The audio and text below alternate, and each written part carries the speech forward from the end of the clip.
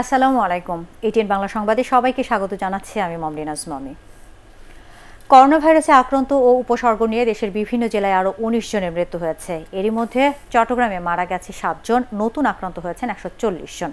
বরিশালে করোনা শনাক্ত ও উপসর্গ নিয়ে পাঁচ জনের মৃত্যু হয়েছে। এর মধ্যে বরিশাল শেরেবাংলা মেডিকেলে মারা গেছেন ঝালকাঠি ও পিরোজপুরের দুজন।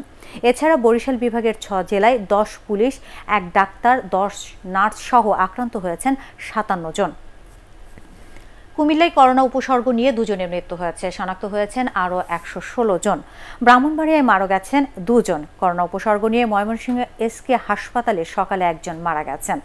সিলেট সিটি কর্পোরেশনের সাবেক মেয়র বদরুদ্দিন আহমেদ কামরান সহ জেলায় নতুন করে আক্রান্ত হয়েছেন সাতচল্লিশ জন। রংপুর ডেডিকেটেড করোনা হাসপাতালে সাতষট্টি বছর বয়সে এক নারীর মৃত্যু হয়েছে।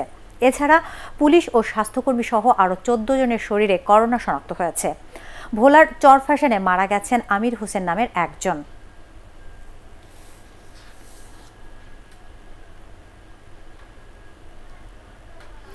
করোনা সংক্রমণ ঠেকাতে কক্সবাজার পৌর এলাকাকে রেড জোন ঘোষণা করে লকডাউন করা হয়েছে। গতকাল এই সংক্রান্ত একটি জরুরি বিজ্ঞপ্তি জারি করা হয়েছে। আজ থেকে উনিশ জুন পর্যন্ত পৌর এলাকা লকডাউনের আওতায় থাকবে বলে জানানো হয়েছে। এর মাধ্যমে দেশের প্রথম কোনো এলাকাকে রেড জোন হিসেবে ঘোষণা করা হলো। ঘূর্ণিঝড় আমপানের তাণ্ডবে সাতক্ষীরা উপকূলে ভেঙে যাওয়া তেইশটি বেড়িবাঁধের বেশিরভাগই এখনও মেরামত করা যায়নি। নোনা পানি ঢুকছে লোকালয়ে। পানির মধ্যে দুর্বিসহ দিন যাপন করছে নদী ও সাগর পাড়ের একুশটি গ্রামের মানুষ। সাতক্ষীরা প্রতিনিধি এম কামরুজ্জামানের রিপোর্ট জানাচ্ছেন মনির হোসেন তব্বু কপোতাক্ষ, খোলপেটুয়া, বেতনা সহ বড় সাতটি নদী বইছে সাতক্ষীরার উপর দিয়ে। এর বেশিরভাগই গিয়ে মিলেছে বঙ্গোপসাগরে। প্রায় ষাট বছর আগে সাতক্ষীরা উপকূলে নির্মিত আটশো দুই কিলোমিটার বেড়িবাঁধের দেড় শতাধিক পয়েন্ট এখন ঝুঁকিপূর্ণ। আইলা, সিডোর, ফণি ও বুলবুল সহ বিভিন্ন ঘূর্ণিঝড়, জলোচ্ছ্বাসে মারাত্মক ক্ষতিগ্রস্ত হয়েছে এই বাঁধ। সবশেষ, ঘূর্ণিঝড় আমপানের জলোচ্ছ্বাসে ভেঙেছে তেইশটি পয়েন্ট, যার বেশিরভাগ দিয়েই এখনও লোকালয়ে ঢুকছে পানি।